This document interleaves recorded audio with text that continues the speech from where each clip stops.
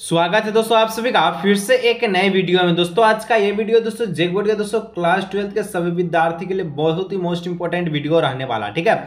क्योंकि दोस्तों, आज आज दोस्तों फाइनली आपका जो है सत्रह फरवरी को जो है आपका इकोनॉमिक्स यानी कि अर्थशास्त्र का परीक्षा बोर्ड परीक्षा, ठीक है? तो आज की इस वीडियो से हम लोग जो है जेक ठीक है? झारखंड अधिविद परिषद एनुअल इंटरमीडिएट एग्जामिनेशन 2024 जिसको हम लोग इंटरमीडिएट बोर्ड परीक्षा भी कहते हैं तो आज के इस वीडियो में फाइनली हम जो इकोनॉमिक्स का, ठीक है? क्वेश्चन पेपर 2024 को आज के इस वीडियो में हम लोग फुल सोल्यूशन करने वाले हैं। आप वीडियो को दोस्तों अंत तक देख के जाइए, क्योंकि आपका दो बजे से दोस्तों आपका जो क्या है बोर्ड परीक्षा शुरू है, ठीक है? तो दो बजे से पहले इसको देख लीजिए, जितना सारा दोस्तों को ज़रूर से ज़रूर से कीजिएगा। एग्ज़ाम में तहलका मचाने से कोई नहीं रोक सकता, ठीक है? हो बहु दोस्तों एग्ज़ाम में प्रश्न आने वाला है, ठीक है? समय आपको तीन घंटा पंद्रह मिनट है, पूर्णांक आपका इसका अस्सी नंबर का है, ठीक है? दोस्तों, यहाँ पर सबसे पहला प्रश्न आपसे पूछा कि अर्थव्यवस्था की किस समस्या का संबंध उत्पादन की तकनीकी के चयन से है, ठीक है? इंग्लिश वाले अपना देख लीजिएगा which problem of an economics is related to the choice of the technology of the production ठीक है? तो इसका जो करेक्ट आंसर दोस्तों ऑप्शन नंबर सी हो जाएगा कि कैसे उत्पादन करे, ठीक है? यही आपका जो उत्पादन की तकनीकी का चयन है, ठीक है? आज के इस वीडियो में हम लोग, दोस्तों, जल्दी से इसको सोल्व करेंगे कि, दोस्तों एग्ज़ाम आपका बहुत ही नज़दीक आ चुका है, ठीक है? एग्ज़ाम दो बजे से शुरू है आपका, इसलिए आगे, दोस्तों नेक्स्ट आपका दो नंबर, दोस्तों, पूछ रहा है कि कुल उपयोगी, ठीक है, अधिकतम होती है जब सीमांत उपयोगिता का मान डैश होता है। दोस्तों, कुल उपयोगिता पूछा कि अधिकतम होता है जब सीमांत उपयोगिता का मान क्या होता है, ठीक है, शून्य होता है, कि आपका ऋणात्मक होता है, कि धनात्मक होता है, कि न्यूनतम होता है, ठीक है? जितना समझना था हम लोग समझ चुके हैं, क्योंकि एग्ज़ाम नज़दीक है, इसको जल्दी से हम लोग देख लेते हैं, ठीक है, ताकि एग्ज़ाम में तालका मचा सके। तो दो का जो correct answer option number A हो जाएगा, जब जब आपका जो कुल उपयोगिता, ठीक है अधिकतम होगी, तब सीमांत का जो उपयोगी का जो मान होगा वो आपका शून्य हो जाएगा, ज़ीरो हो जाएगा, ठीक है? चलिए। तीन नंबर दोस्तों, पूछा है कि समानता एक उदासीनता वक्र होता है, ठीक है? समानता एक उदासीनता जो वर्ग है, कैसा होता है? वक्र, ठीक है? जनरली एंड इंडिफिशेंस ठीक है? इंडिफ्रेंसेस कर्व इज़ ठीक है? इस प्रकार दिया है। ऑप्शन से दोस्तों, वृत्ताकार युवकार का, ठीक है? मूल बिंदु की और उत्तर, ठीक है? और मूल बिंदु की ओर से अवतल। तो जब दोस्तों समानता, उदासीनता, वक्र होगा तो इसका जो ऑप्शन नंबर सी हो जाएगा, मूल बिंदु की उत्तल। ठीक है, चलिए, की और उत्तल होगा, ठीक है? आगे दोस्तों हम नेक्स्ट बढ़ते कैसे होगा? इस प्रकार का होगा, ठीक है? कर्व इसका कैसे होगा? इस प्रकार से उत्तल हो जाएगा, ठीक है? चलिए। चार नंबर, समानता एक मांग वक्र की ढाल होती है, ठीक है? तो कैसा होता है? धनात्मक है, ऋणात्मक है, पहले धनात्मक, फिर ऋणात्मक, पहले ऋणात्मक, फिर धनात्मक, ठीक है? तो चार का जो करेक्ट आंसर है दोस्तों ये क्या हो जाएगा? ऑप्शन नंबर हो जाएगा बी नंबर ठीक है? ऋणात्मक होती है, ठीक है? आगे दोस्तों, पाँच नंबर का था, एक सरल रेखा मांग, वक्र के माध्य ठीक है, मध्य बिंदु पर मांग की कीमत लॉच, डैश होती है, क्या होती है? ऑप्शन से शून्य है, एक है, ठीक है, एक से अधिक है, एक से कम है तो पाँच का जो correct answer option number B हो जाएगा, एक होती है, ठीक है? लोच क्या होता है? एक होता है, चलिए।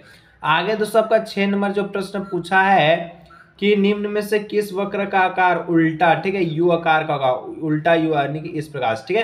तो किसका होगा? औसत स्थिर लागत का या फिर दोस्तों यहाँ पर जो पूछ रहा है आपका कि औसत परिवर्तन लागत, ठीक है, या फिर दोस्तों आपका जो सीमांत लागत या फिर औसत उत्पाद, ठीक है? तो यहाँ पर जो छह का जो करेक्ट आंसर ऑप्शन नंबर हो जाएगा डी नंबर औसत उत्पाद किसका करेक्ट आंसर हो जाएगा? आगे दोस्तों आपका सात नंबर पूछता उत्पादन फलन ठीक है क्यू बराबर ए एल अल्फ़ा, ठीक है? आपका के बीटा में पैमाने का प्रतिफल की माप है, क्या होगा, ठीक है? ऑप्शन से दोस्तों अल्फ़ा प्लस बीटा होगा, अल्फ़ा माइनस बीटा होगा, अल्फ़ा गुना बीटा या फिर अल्फ़ा बटे बीटा। तो ये सात का जो correct answer option number A हो जाएगा अल्फ़ा प्लस बीटा, ठीक है? आठ नंबर दोस्तों बोलता है, जब सीमांत लागत औसत लागत से कम है, ठीक है? तब औसत लागत क्या होगा? घटेगा कि न्यूनतम रहेगा कि यहाँ पर बढ़ते हैं कि अधिकतम रहेगा, ठीक है? दोस्तों, यहाँ पर इसका जो ऑप्शन नंबर ए जाएगा ठीक है, घटेगा, ठीक है? चलिए आगे दोस्तों नेक्स्ट हम लोग बढ़ते हैं, नौ नंबर कहता उत्पादन की मात्रा में परिवर्तन करने पर किस लागत में परिवर्तन नहीं होता? यानी कि जब उत्पादन का मात्रा में परिवर्तन हो रहा है, लेकिन ऐसा कौन लागत है जो परिवर्तन नहीं होगा, ठीक है? औसत स्थिर लागत, औसत परिवर्तित लागत, या फिर सीमांत लागत, या फिर कोल स्तर लागत, ठीक है? तो नौ का जो correct answer option number D हो जाएगा कोल स्तर लागा, ठीक है? चलिए, आगे दोस्तों नेक्स्ट आपका दस नंबर पूछता है।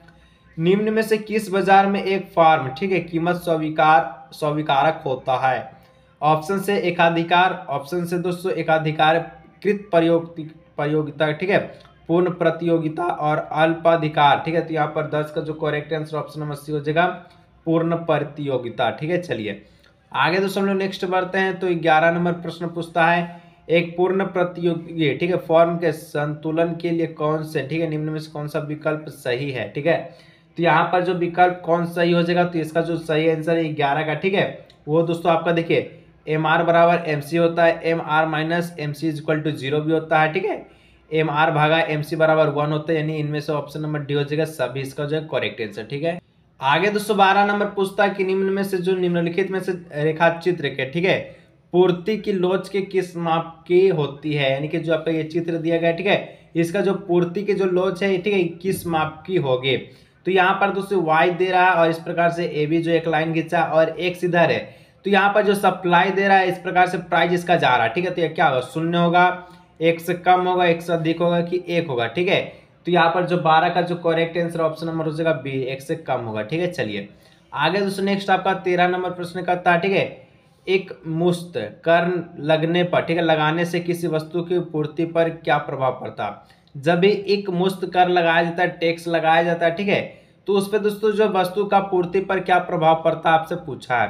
पूर्ति कम हो जाती है कि पूर्ति में वृद्धि होती है कि पूर्ति अपरिवर्तित रहेगी कि पूर्ति शून्य हो जाती है, ठीक है?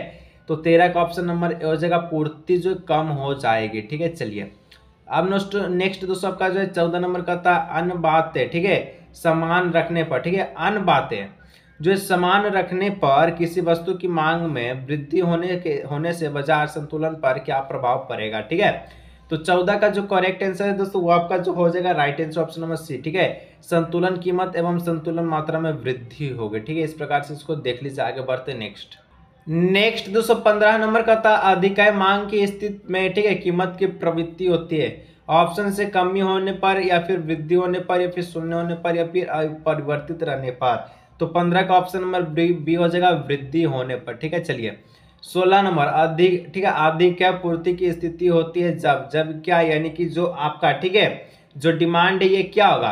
तो यहाँ पर सोलह का जो करेक्ट आंसर ये आपका जो डिमांड जो है, ठीक है, वो आपका क्या हो जाएगा? तो सेलर से क्या हो जाएगा? कम हो जाएगा। ठीक है, इस प्रकार से ऑप्शन नंबर बी हो जाएगा। ठीक है, चलिए। आगे दोस्तों नेक्स्ट हमने यानी सप्लाई है? सेलर बोल रहे सप्लाई से कम हो जाएगा डिमांड ठीक है? चलिए। सत्रह नंबर दोस्तों कहता है, देखिए, जहाँ डी आपका मांग, यानी कि डिमांड है ए सबका पूर्ति, यानी कि सप्लाई है। अन्य बातें समान रखने पर, किसी वस्तु की पूर्ति में कम होने से, ठीक है, बाज़ार संतुलन पर क्या प्रभाव पड़ेगा, ठीक है? तो यहाँ पर दोस्तों ऑप्शन या इस प्रकार से दिया गया तो इसका जो करेक्ट आंसर ठीक है, सत्रह का ऑप्शन नंबर बी हो जाएगा। संतुलन कीमत में वृद्धि एवं संतुलन मात्रा में जो कमी होना, ठीक है? चलिए। आगे दोस्तों हम लोग नेक्स्ट बढ़ते हैं तो अठारह नंबर कुछ इस प्रकार का प्रश्न है एक अधिकार में, ठीक है? अधिकतम कुल आगम के, ठीक है, उत्पादन स्तर पर वस्तु की मांग की कीमत लोच कितनी होती है, ठीक है? कुछ इस प्रकार का प्रश्न है ऑप्शन से ज़ीरो है, एक है, एक से कम है, एक से अधिक है, ठीक है? तो अठारह का ऑप्शन नंबर बी हो जाएगा एक, ठीक है? अभी तक दोस्तों सब्सक्राइब नहीं किया सब्सक्राइब ज़रूर कीजिएगा, जितना दोस्तों को ज़रूर सीट कीजिएगा, आज दोस्तों तल का मचाने कोई नहीं रोक सकता, ठीक है? चलिए नेक्स्ट बढ़ते हैं, ठीक है? नेक्स्ट दोस्तों, उन्नीस नंबर का था, द्वाधिकार में विकताओं की कितनी संख्या होती है, ठीक है? देखिए, आप पर पहले डिओ डिओप्लोई दिया गया, ठीक है? यानी कि द्वेधिकार दिया गया, यानी कि दो पहले से बोल रहा है कि तो यहाँ पर ऑप्शन नंबर डी हो जाएगा दो, ठीक है? आगे दोस्तों नेक्स्ट है तो बीस नंबर निम्न में से किस बाज़ार में विभेदीकृत वस्तुओं का उत्पादन होता है, ठीक है? कौन सा बाज़ार में विभेदीकृत वस्तु का उत्पादन होता है, ठीक है? एकाधिकार में, एकाधिकार प्रतियोगिता में, पूर्ण प्रतियोगिता में यानी इनमें से सभी में। तो जहाँ भी इनमें से सभी दिखे, उसको इनमें से सभी ही करना। ठीक है ऑप्शन नंबर डी हो जाएगा। चलिए। आगे दोस्तों नेक्स्ट आपका जो है, इक्कीस नंबर, द जनरल, ठीक है? थियोरी ऑफ़ ठीक है? एम्प्लॉयमेंट इंटरनेट एंड मनी नामक पुस्तक का लेखक कौन है? ठीक है ऑप्शन से अल्फ्रेड मास्लर एडम स्मिथ ठीक है? जे एम्स केन्स और जे एन केम्स यहाँ पर दोस्तों एन है, ये आपका एम है तो एम वाला हो जाएगा जे एम केम्स ठीक है? जेम्स याद रखिएगा जे जे एम केन्स ठीक है? चलिए। आगे दोस्तों नेक्स्ट बाईस नंबर का आता है जी डी ठीक है? जीडीपी और एनडीपी में क्या संबंध है? तो जीडीपी और में एनडीपी में जो संबंध होता है, वो क्या होता है? ठीक है, आपसे पूछा है। तो इसका जो संबंध होगा दोस्तों, ये क्या होगा? तो जीडीपी ठीक है? जीडीपी जो है बराबर होगा एनडीपी का, ठीक है? और इसमें आपका मूल्य ह्रास हो जाएगा, ठीक है? इस प्रकार से ऑप्शन नंबर सी इसका हो जाएगा करेक्ट आंसर ठीक है? आगे दोस्तों, आपसे तेईस नंबर जो प्रश्न पूछा गया है निम्न में से किस वस्तु के निर्माण में गेहूँ एवं मध्यवर्ती वस्तु है? ठीक है।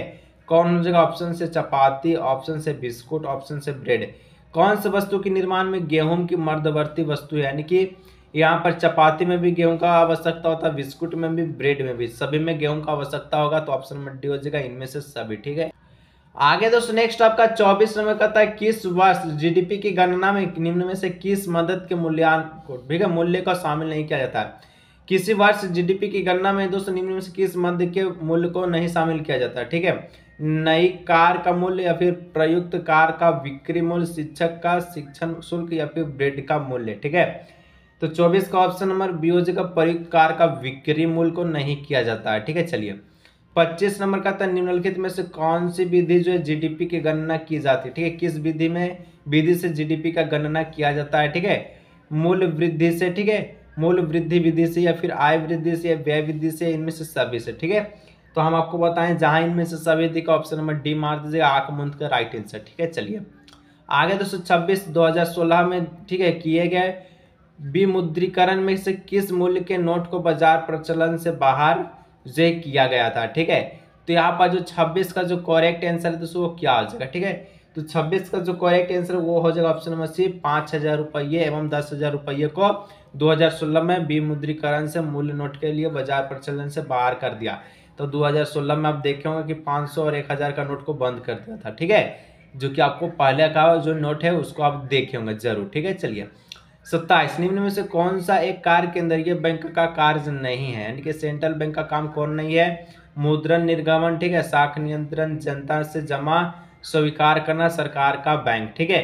तो यहाँ पर दोस्तों जो सत्ताईस का जो correct answer option number C हो जाएगा, जनता से जमा स्वीकार करना है। ये केंद्रीय बैंक का काम नहीं है, ये आपका किसका काम है? तो ये आपका दूसरा बैंक का काम है, जो कि आपका स्तर पर आता है, ठीक है? उसका काम है, ठीक है? आगे दोस्तों आपका अट्ठाईस नंबर, भारत का केंद्रीय बैंक है, ठीक है? भारत का केंद्रीय बैंक कौन है? स्टेट बैंक है, ठीक है? या फिर सेंट्रल बैंक ऑफ़ इंडिया है, या फिर दोस्तों भारतीय रिज़र्व बैंक या फिर बैंक ऑफ़ इंडिया, ठीक है? अट्ठाईस का जो correct answer option number C हो जाएगा भारतीय रिज़र्व बैंक जिसको भारत का केंद्रीय bank central bank of India के नाम से जानते हैं, ठीक है? उनतीस, निम्न में से सबसे तरल मुद्रा कौन है? तरल मुद्रा यानी कि किसी भी चीज़ को आप खरीदेंगे तो मुद्रा की आवश्यकता होगी तो यहाँ पर एम वन जो है तरल मुद्रा में आता है, ठीक है? ऑप्शन नंबर ए हो जाएगा, ठीक है? चलिए।